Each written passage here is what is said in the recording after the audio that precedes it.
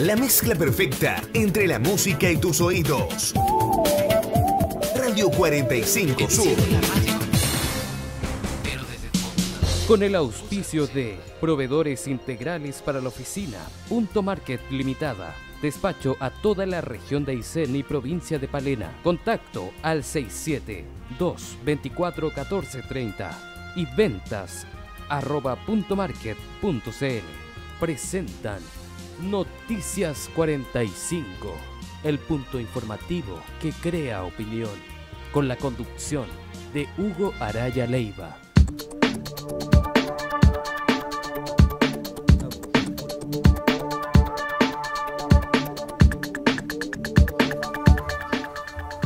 ¿Cómo están? Muy buenas tardes, bienvenidos y bienvenidas. Rápidamente nos adentramos a la revisión de las noticias porque hoy se dieron a conocer detalles del inicio de un estudio de prefactibilidad que se va a efectuar en alianza entre la Municipalidad de Coyhaique y el Programa de Naciones Unidas para la Energía Distrital para poder precisamente determinar si es viable que acá en la capital regional se pueda implementar a futuro un sistema de calefacción distrital que ayude obviamente como prioridad a descontaminar la ciudad de Coyhaique que en invierno debido al uso de leña sufre serios problemas de contaminación. Pilar Lapuente, que es la encargada coordinadora nacional de este programa de energía distrital de las Naciones Unidas, nos entregó más antecedentes de este programa. Para registro. Pilar Lapuente, soy coordinadora técnica nacional del programa de, energía distrital en Chile eh, de parte de Naciones Unidas. Perfecto. ¿Cuál es el gran objetivo de esta alianza que hoy día suscriben con el municipio de Coyhaique? Hacer un estudio, eh, digamos, pensando en un sistema de calefacción distrital eh, de aquí a cuántos años, cuál es el plazo que se han trazado para poder viabilizar esto o decir no es viable. Bueno, en la primera fase consta de un estudio de prefactibilidad técnica económica que estaría terminada este año. El objetivo nuestro de esta primera etapa del proyecto es llegar hacia una fase de licitación al mercado internacional para atraer inversores a desarrollar estos proyectos, este sistema de energía en la región.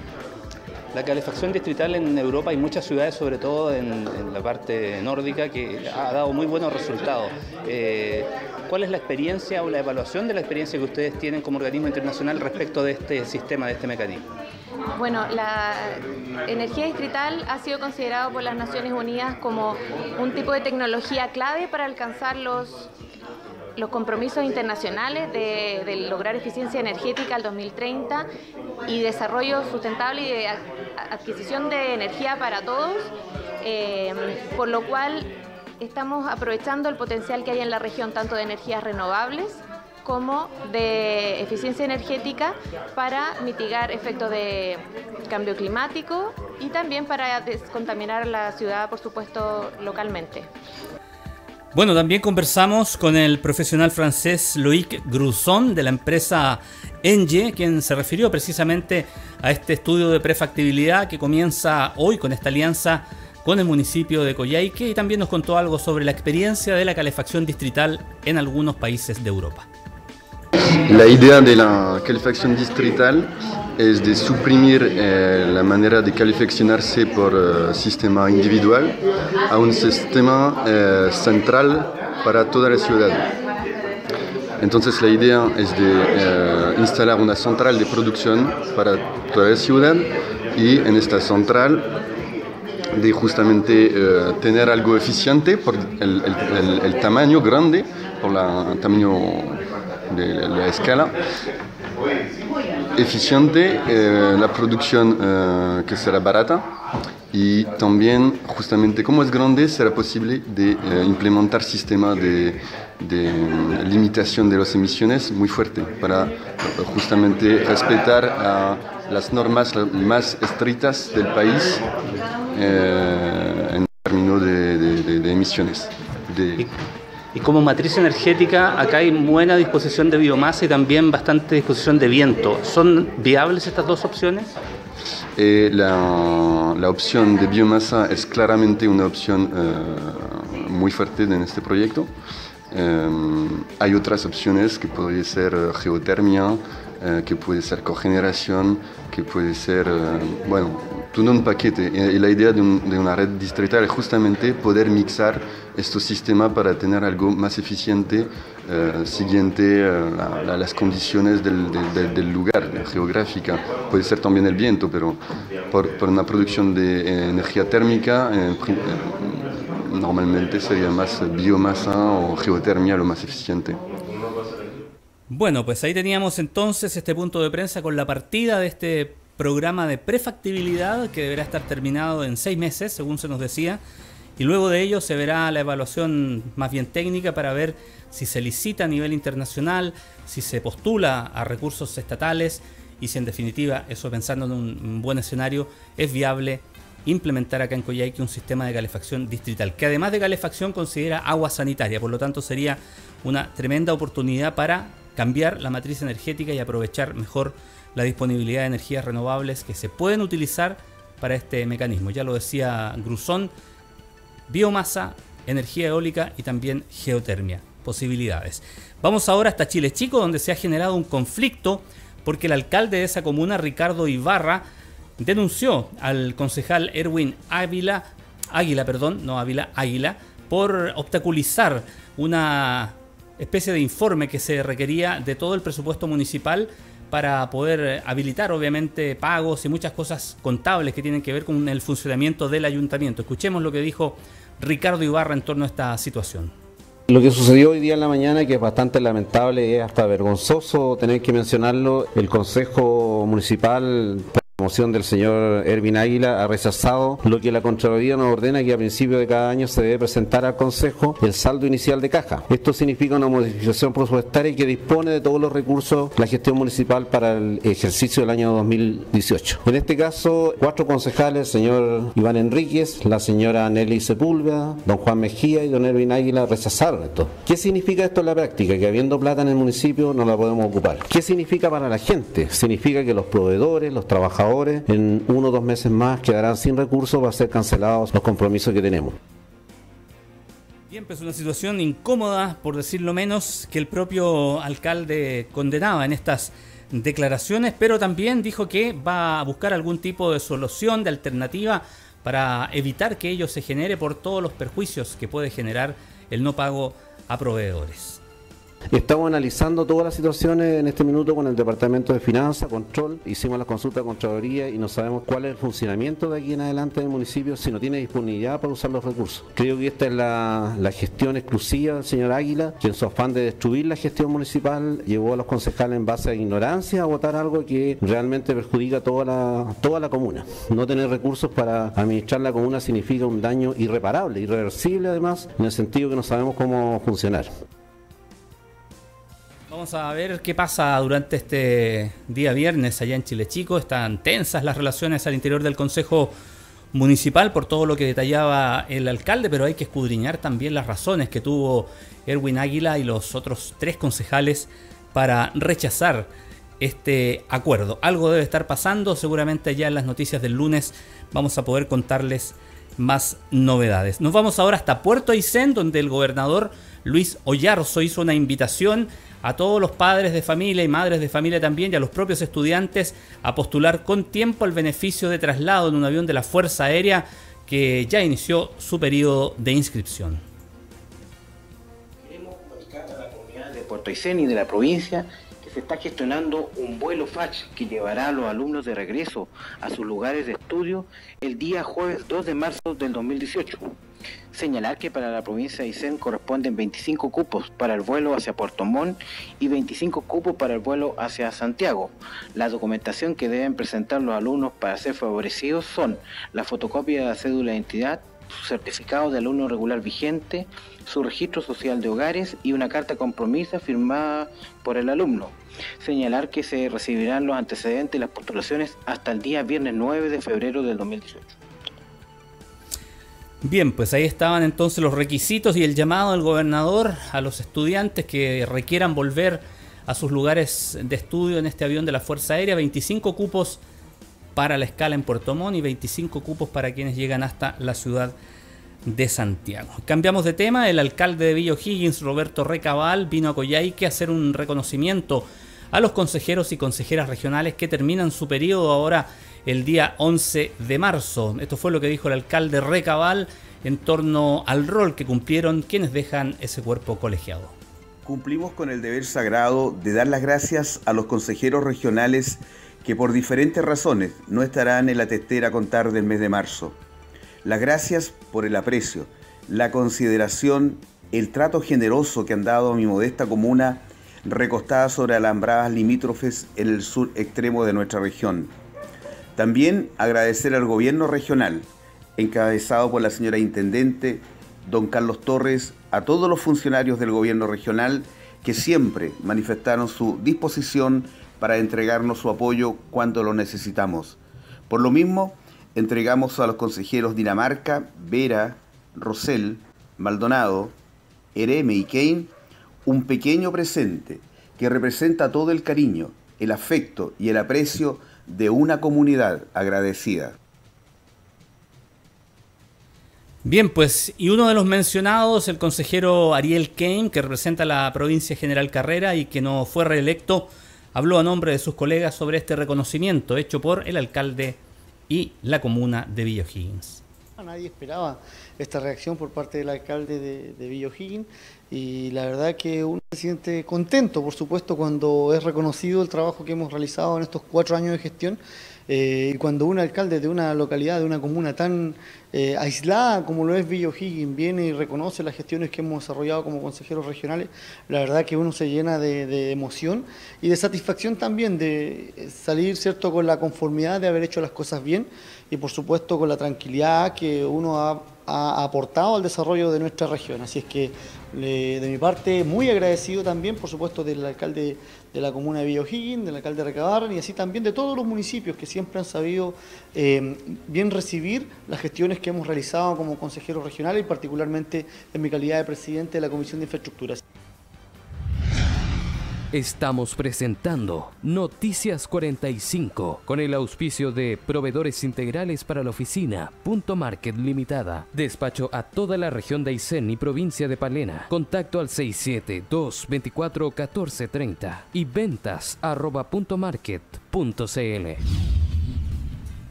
Bien, y ahora vamos al ámbito policial porque ayer se realizó una diligencia donde se decomisaron plantas de marihuana que una persona cultivaba al interior de su domicilio particular. La comisaria subrogante de carabineros, la capitana Marioli Fortunati, nos entrega los antecedentes de esta diligencia efectuada por personal policial. Hoy, alrededor del mediodía, eh, personal especializado de la CIT, de la primera comisaría de Coyhaique, efectuando labores propias de su especialidad, mantienen una instrucción particular por el delito de hurto. Eh, a raíz de esto efectuaron una entrada y registro de un domicilio ubicado en el sector alto de la ciudad. Y en la revisión de, este domicilio concurrieron al patio del inmueble, donde encontraron tres plantas de marihuana, dos de 80 centímetros aproximadamente y una de 60 centímetros. A raíz de este hallazgo llamaron al, fiscal de turno, quien dispuso la concurrencia de personal especializado de la sección 97 de Goyaique, quienes concurrieron al lugar para dar el procedimiento correspondiente.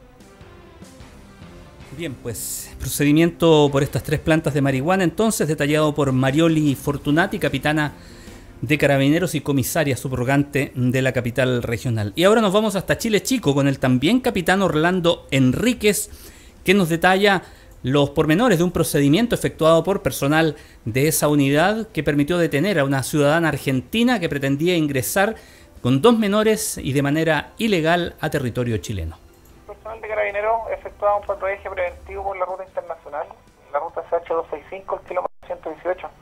Instante fue alertado por un transeúnte que le manifestó a personal de Carabineros que había observado a una mujer joven que desde Argentina cruzaba a Chile por el río Ginimeni. En brazo mantenía una lactante, a otra menor de aproximadamente 11 años que atravesaban por el río. Caminaban en dirección eh, a, un vehículo tipo furgón que, que estaba estacionado en la ruta, en el sector de la Verma existente, al parecer, habían personas esperándola y por lo anterior el personal de carabinero, eh, mientras efectuaba este patrullaje fronterizo, eh, concurre y observa el momento en que esta mujer, junto al lactante en brazo y la otra menor, suben a, un furgón de patente argentina, procediendo a controlar, a fiscalizar el móvil y consultar si estas personas que están en el exterior eh, habían ingresado en forma legal al país manifestaron todas que sí, no obstante ellos carabineros ya habiendo observado dicha situación eh, proceden a observar nerviosismo en todas las personas y los trasladan a la aduana. Se le efectúa el control en el interior de la, del paso fronterizo Meni, donde se verifica que de todas estas personas en el interior del móvil, que eran ocho, eh, tres justamente no habían ingresado como corresponde. Correspondía justamente a esta mujer de 19 años, la lactante de 3 años que lleva en brazos, que era su hija, y la menor de 11 años, que era una familiar, sobrina. Conforme a esto, Carabinero adopta el procedimiento y eh, la traslada hasta la unidad policial. Se verifica en primera instancia en el hospital de Chile Chico para verificar posible hipotermia que estas mantenían, eh, las cuales fueron tratadas y solucionadas en cuestión de horas. Por lo anterior se dio cuenta al Ministerio Público quien adoptó procedimiento en coordinación con Carabineros. Teníamos el detalle pormenorizado de este procedimiento por parte del capitán Enríquez, Orlando Enríquez, comisario de los servicios de la comisaría de Chile Chico. Y vamos ahora a una nota que ponga mucha atención si usted tiene perros o perras y los quiere esterilizar. La próxima semana van a haber operativos tanto en Coyhaique como en la ciudad, perdón, en la localidad de Villa Ortega. El Ceremi subrogante de salud, Willy Velázquez, nos entrega detalles de este programa de esterilización que hace ya un par de años implementa la Seremi de Salud. Recordar que el programa de esterilización ha realizado más de 2.300 intervenciones quirúrgicas, complementadas con identificación a través de microchip, la entrega de carnet sanitario y desparasitaciones periódicas de cane es una política integral de salud pública para prevenir la hidatidosis. ¿Usted quiere inscribir a su mascota? Le voy a dar el WhatsApp de este programa es el más 569, le repito, más 569 7517 5817. 7517 5817. Y también está la posibilidad de que ingresen a la página web que es aisenidatidosis.cl para poder realizar entonces la inscripción respectiva y poder esterilizar a su perro o perra en este operativo que se va a efectuar la próxima semana en Coyhaique en dos jornadas y en Villa Ortega en una sola. Y vamos a escuchar ahora a la rectora de la Universidad de Aysén, María Teresa Marshall Infante, quien acaba de ofrecer una conferencia de prensa en la cual destacó el interés que ha generado el proceso de matrículas para la Universidad de Aysén, que ella lidera, un proceso que no solo está circunscrito al territorio regional, sino que también hay ya matriculados de otras partes del país. Esta fue la reflexión que hizo María Teresa Marshall en torno a la importancia que ha tenido la proyección de este plantel universitario. Nosotros estamos más que contentos, estamos felices, felices porque después de un año de trabajo en la universidad se van viendo los primeros frutos de ver que tenemos más estudiantes, que tenemos estudiantes en todas nuestras carreras, que tenemos un número grave de estudiantes que están en lista espera y eso nos preocupa, y tenemos mucho mejores puntajes que los años anteriores. Vale decir, hoy día los estudiantes que quizás antes decían, no, mejor me voy fuera de Aysén, hoy día con un muy buen puntaje están optando por quedarse en la región y quedarse en esta universidad que solamente con un año de trayectoria en nuestros programas de pregrado ya empieza a tener una resonancia en Coyhaique, en Aysén, en cada una de las comunas y también, cosa que nos ha impactado mucho esta vez, es que tenemos un número de estudiantes muy importante, no el más significativo, pero es, pero es significativo el total, de estudiantes que están viniendo fuera de la región y están eligiendo esta universidad. Bien, pues esa era María Teresa Marchal, la rectora de la Universidad Regional, y posteriormente nosotros conversamos con dos alumnas recién matriculadas, dos muchachas, una de Puerto Aysén y la otra de Coyhaique. Vamos a escuchar primero a Yasmín Olea Bravo, que se matriculó en la carrera de enfermería. Ella es de Puerto Aysén y esta fue la conversación que mantuvo con nuestra emisora. ¿Nombre completo? Yasmín Abigail Olea Bravo y me matriculé en enfermería. ¿Eres coyhaiquina? Aysenina. ¿Puerto Aysenina? Sí. Bueno, cuéntanos esta experiencia de ingresar a la Universidad de Aysén, ¿por qué lo elegiste y a qué carrera también estás, eh, te matriculaste hoy día? Sí, me matriculé en enfermería porque yo ya había estudiado esa carrera en otra universidad, entonces apenas supe que estaba aquí me cambié, me vine a mi región mejor. ese concepto de pertenencia, ¿cuán importante es para ser un buen profesional a tu juicio? Tú dices, eh, me vine acá porque es mi, tierra, mi región.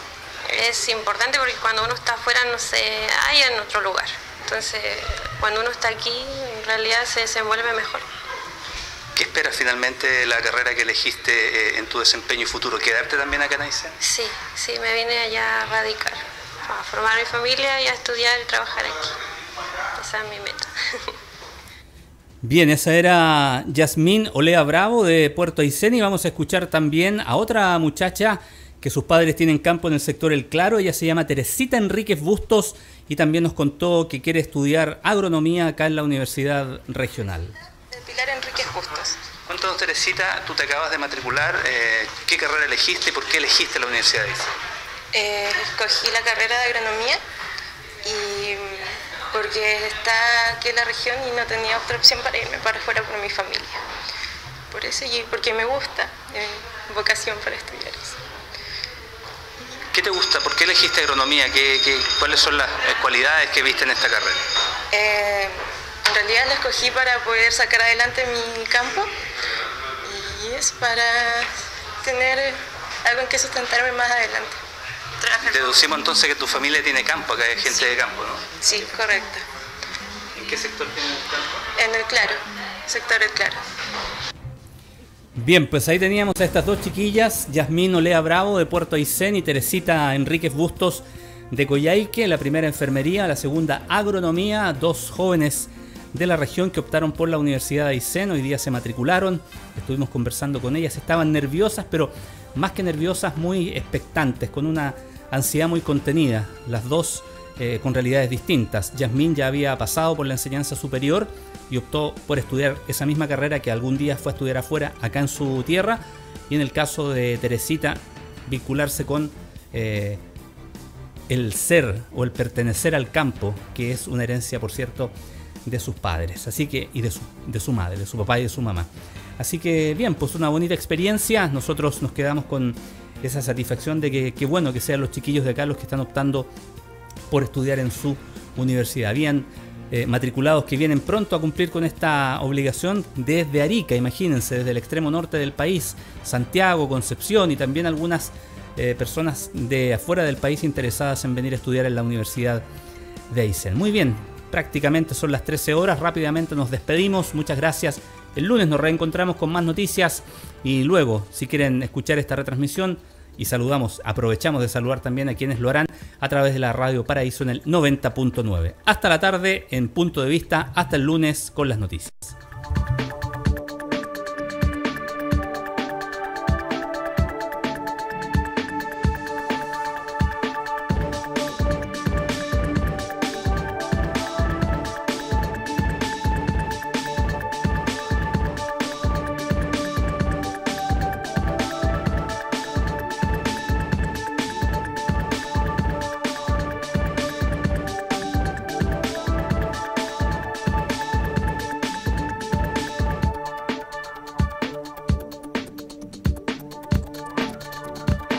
Con el auspicio de Proveedores integrales para la oficina, Punto Market Limitada. Despacho para toda la región de Aysén y provincia de Palena. Contacto al 672-24-1430 y ventas arroba